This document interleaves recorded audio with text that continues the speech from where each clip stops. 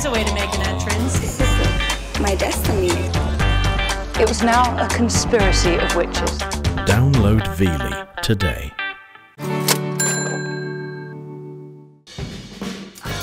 On this episode of Cash and Cari, rare recordings are discovered. Amberol Records. Some of these can be worth a lot of money. This quaint country cottage could prove to be a vintage treasure trove. Oh, that's cool. Then, an unexpected visitor threatens to destroy the sale. This is gonna kill us. I'm Cari Cucksey, and I run estate sales. Whether it's a simple bungalow or a grand mansion, there's always a hidden treasure. I also buy out entire homes, refurbish just about anything, and run my vintage store here in Michigan. I'm a treasure broker. I give dusty relics a new lease on life and make great deals in the process. Sold! Cari is headed to see a new customer about an estate sale. Lance has been clearing out his father's estate for some time and could use help. If he's got enough quality items, she'll help him run his sale and liquidate everything so he can sell the house. This house is pretty much unchanged since 1953 when my folks and my brother and I moved in. Okay. Nice library table. That's a nice yeah, piece. It's really got some beautiful wood grain. Yeah, and the feet are gorgeous too. In here, this is kind of an Art Deco dresser. Yes. Um, my dad has some old cameras, okay. some old brownies. Very cool. Um, they work great. Awesome. Lots of collectors of uh, cameras and photography equipment Yeah. out there. There's three or four in here, plus there's some gear here that doesn't, I don't think it goes with these cameras, but Okay. uh, here's a massage it vibrates like crazy. and you- Looks a little scary. It, it is. I'm really happy with Cari. She put me at ease and made me feel like she was just a friend of mine. And we were walking through the house, and I was showing her around. And, There's a little bit of everything in here. yeah, I'm gonna take you downstairs. This is the treasure room. It looks like we have our work cut out for us here, in Lance. There's some unique stuff here. It remains to be discovered. That's fun. We like to discover hidden treasure. I was beginning to wonder how are we going to resolve this? Every time I would come over, I'd find something and I'd stop and I'd read about it or look at it, and it was just taking me forever to get anything done. That's why you're hiring us, so we'll help you get it all together and organized.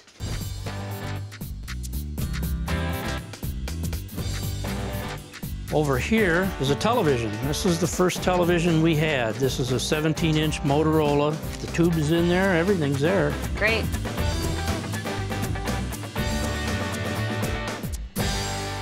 There's a lot of great stuff at Lance's father's house. We've got our work cut out for us as far as getting it prepped and ready. But he had some specific hobbies, so I know this sale is gonna draw some camera and stereo buffs. I have a beautiful example of an Edison phonograph that plays the old cylindrical records. Oh, yeah. There's the recording right there. Right in the needle would hit it. Very cool.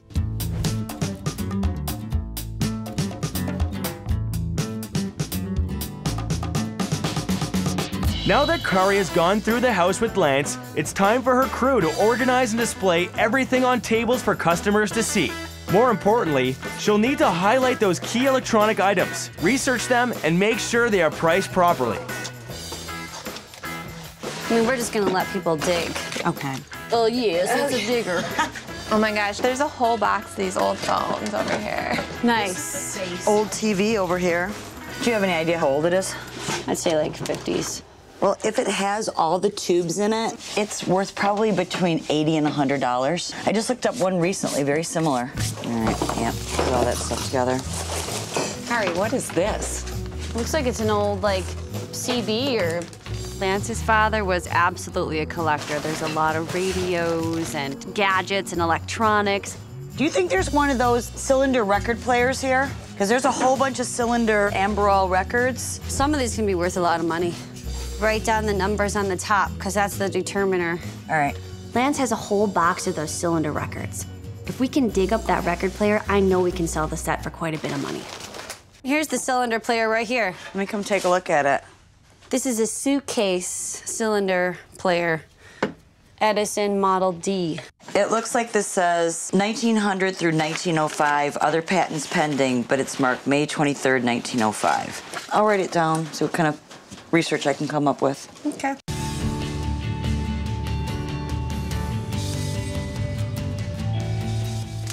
Cari and her team determined that apart from the cylinder records, there wasn't much of value. So I'm thinking somewhere in the 3000 to $3,500 for this sale.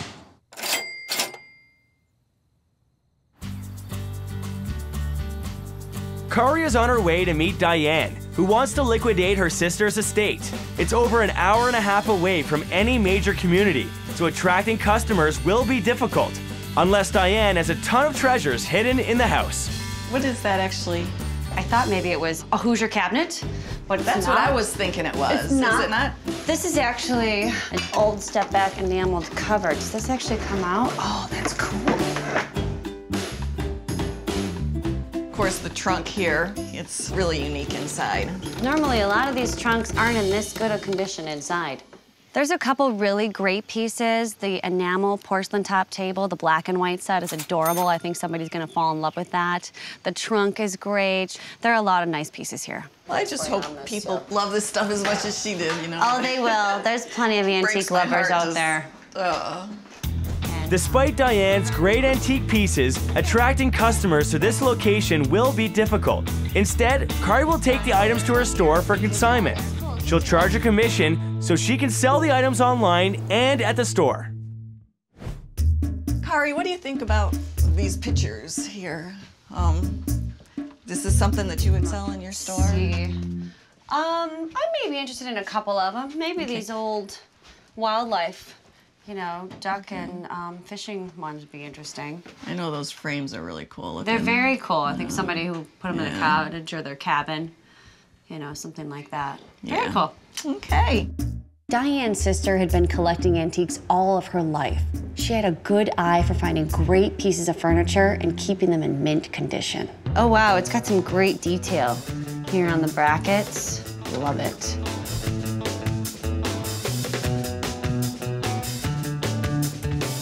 Her master bedroom in here. Nice old chair. Yeah. And this little table is cute as well. This looks like it's probably mahogany. And this is a cool hat rack. That's a great hat rack. I think I'd actually be interested in buying that. It would look great in the store.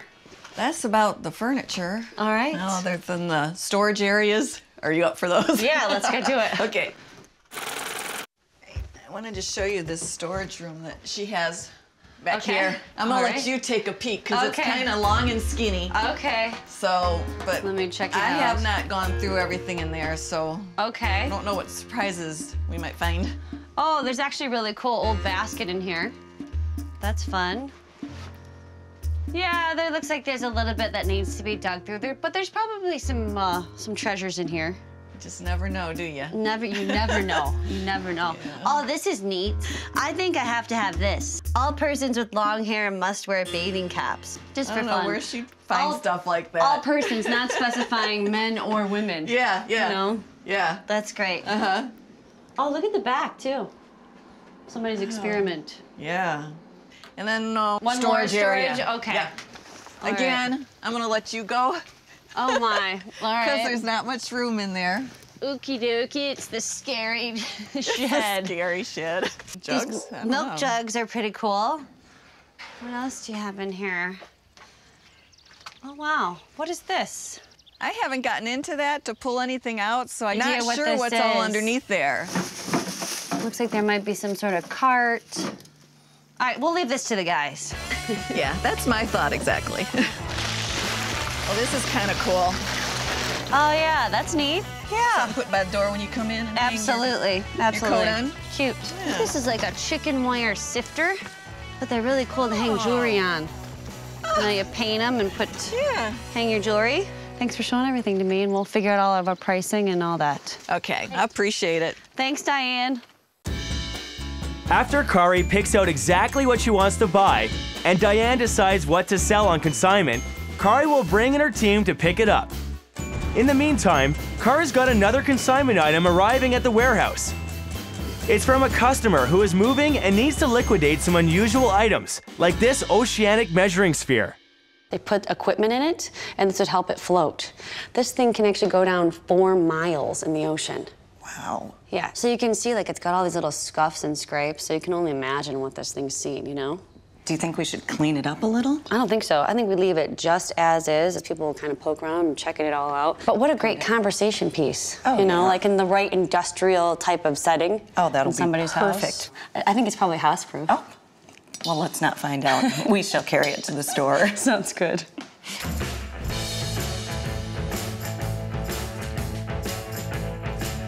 Cari heads back to her office to prepare for Lance's estate sale. The team will research the vintage electronics, determine their fair market value, and find out what the cylinder records are really worth. There seems to be a huge variance in prices. I'm seeing here $12.99, $15.99, and then there's ones that are $125, $250. I don't know whether it depends on the length of the recording or what's actually the recording is of. Edison Blue Amberol cylinder with the number 5652. 52 is, it looks like it's obviously a good one.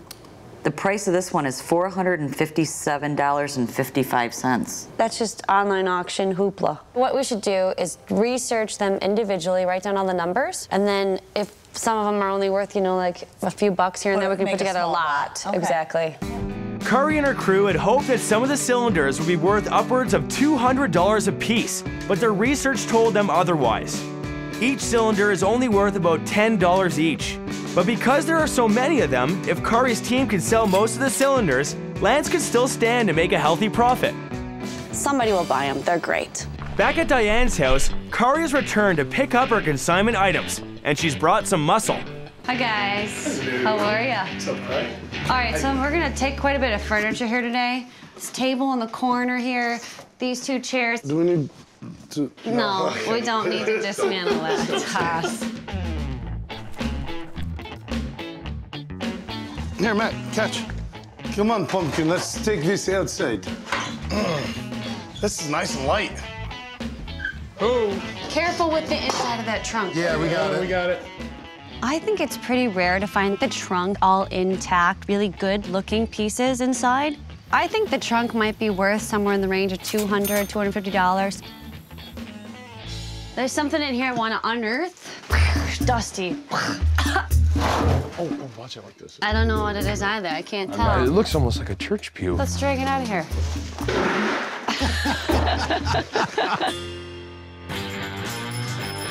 Gosh, all those boxes in that corner can go right on the truck. Do you want this fan? Yes. It's Kind of heavy, dude. Look at this old sprinkler. Get out. I think I'm going to take most of the items from the home to the store. I think there's quite a few pieces that are worthy of an online auction. Is that a beard trimmer? It's for, it's for shaving something. Let's skip the barber. Oh, snap. What's that? Oh, oh, baby. Is it me? Diane has many classic pieces of furniture that are in high demand and will be perfect for the store. While searching around a crowded utility room, Cari uncovers an old cabinet that needs a new lease on life. She'll bring it back to the warehouse, where Stephanie will try to turn it into a treasure. Hey, yo, by the way, guys, those clippers work. No, don't, because it's gonna pull my hair out. No, No, no, dude, that thing's gross. No, No, Matt, let me just- get out of here. No, because it probably smells like fat women and Cheetos.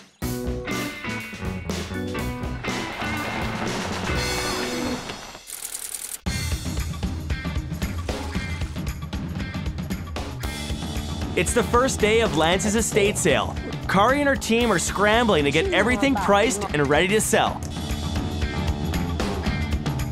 There's already a crowd out there because the eager ones get here first, hoping to jump on the best stuff.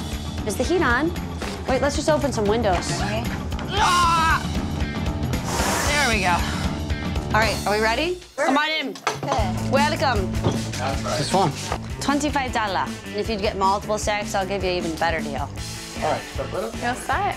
Binder book. Anybody needs pricing, let me know. Not everything's priced, obviously. Yes. Uh, the tin. Two bucks. Hello, how you doing? The Edisons we're gonna do for 10 bucks a piece.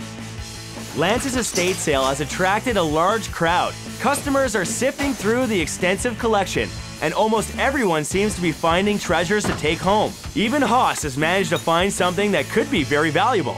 It's a tetradrachm. It look, says they were minted by the polis of Athens from around the middle of the 5th century BC onwards. That's old. Look at the price. $1,600? If it's real. Well, you need to find out if it's real. The albums are two bucks a piece. How much, Jerry?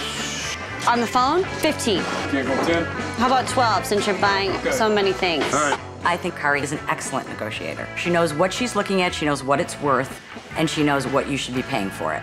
She was tough. They're the early strobe. You might disco dance again or ah, something. You remember how old I am now. Want 15 each? Yep. You want them? If I could get them both for that. Nope, today's first day. So we found some really cool disco light speakers. I thought I had this guy sold on them. We were plugging him in, turning him on. He was unsure. Then he just disappeared. Next thing I know, another guy comes in, swipes them really quickly. He, that was exactly what he wanted. Given the level of action, we're gonna hit Lance's target of $3,500. Can you mark this sold? Yeah, it already is marked sold. Basically, 50 cents for the paperbacks, How much is the bag, huh? uh, 10. Next. Just as the sale was picking up steam, Cari and her team hit a major roadblock. City officials stopped by to inform them that the estate sale signs they had posted on public property were illegal. Okay, we'll go get them. So annoying. Bummer. This is gonna kill us. Cari is headed back to the warehouse, where she'll make some phone calls to sort out Lance's situation and check in on Stephanie, her refurbishing expert. I love the green. Thanks. It's gonna look awesome. That's a real pale yellow that's coming through underneath. I think I paid like 40 bucks for it, so I think once it's done, it'll be worth uh, at least a couple hundred dollars. Super. I'll let you keep working. Stephanie is transforming this cabinet with two-tone paint, antique glaze, new hardware, and vintage wallpaper I was saving for just the right piece.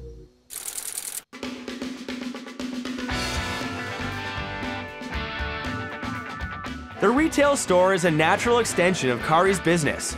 She can take items that didn't sell at the estate sale and sell them here to make more money for her customers. It's an interesting piece of glass. Very thick. This is actually from 1950. It's a deep sea measuring sphere. Huh. It can actually go down to four miles deep. Wow.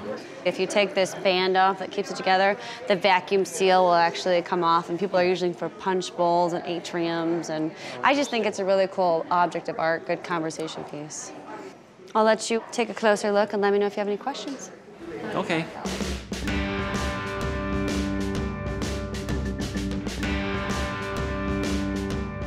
The newly refurbished cabinet from Diane's has sparked some interest. This actually came out of the dungiest, dirtiest little utility room. Really? Of a home that I took some pieces on consignment, and um, it really turned out awesome.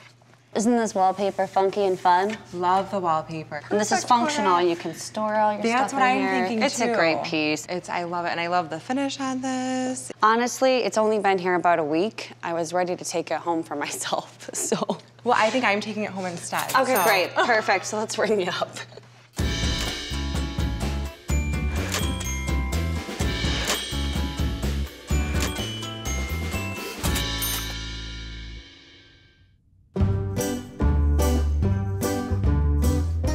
It's the second day of the estate sale. Curry wasn't able to get the city to make an exception for the signs, so all of them are going on to Lance's property.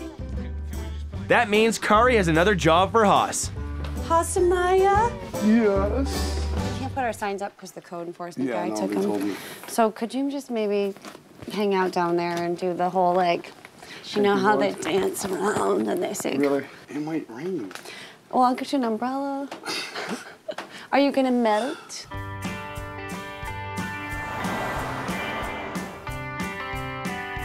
While Haas is trying to bring in customers, Sharon is doing her best to sell as much as she can. And it's bright green. Look, it's not even faded.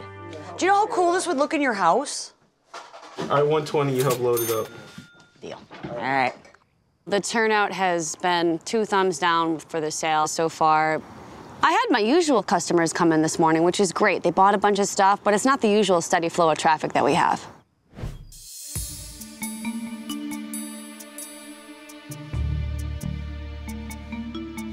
It's been a really disappointing day. I thought we were gonna have much more traffic flow than this. Okay, so three dollars. I think my least favorite part of the day was when people were just beating me up over $2. How about 750? I was like, all right, fine, $2. I'm not gonna argue over $2. The rain is actually starting to kick up again. We did have some musical entertainment from Sharon, which is nice. Pretty good at this, Sharon. I'm here all week. oh my God. Dance, Liz. I'm trying. I need a dancing partner. Haas. And then you yes, love it. Cari has left Sharon and Liz to continue running Lance's sale and is headed back to the store to finish up some research on the coin that Haas found. So we did establish, based on the photos, that it's what they call a Greek tetradrachm. Okay. It was in wide circulation from 510 to 38 BC. I sent the photos to a numismatist who uh, immediately got back to me stating bad news on this one. Oh, so it's fake. Yeah, he said the piece is a cast counterfeit, and it's evident when looking at the edge of the piece. Uh, the details are soft, definition poor, and he said based on that evidence alone, he doesn't even have to see the coin. Okay. Thanks so much, Darren. I appreciate you looking into it for me. My pleasure, Cari. Take care. Take care. Bye bye. Bummer. Just checking it out. Without signs directing customers to the sale, low buyer turnout, and a disappointing discovery about a fake coin has Cari worried about meeting her sales target. She's got to find a solution if she hopes to make money for Lance. Down here is like World War. Junkyard. Well, let's wrap it up. I'm gonna get in there and count the till and see how we did. And All right. not very much. Despite their best efforts, Cari's team was not able to reach their sales goal, bringing in almost $1,000 less than expected. Trying to break a few things down here. Still so much stuff left down here. I know. This sale had a bit of a roadblock, but I found a way around it. I put a few of the better pieces online, which will bring our total up to our expected goal of 3,500.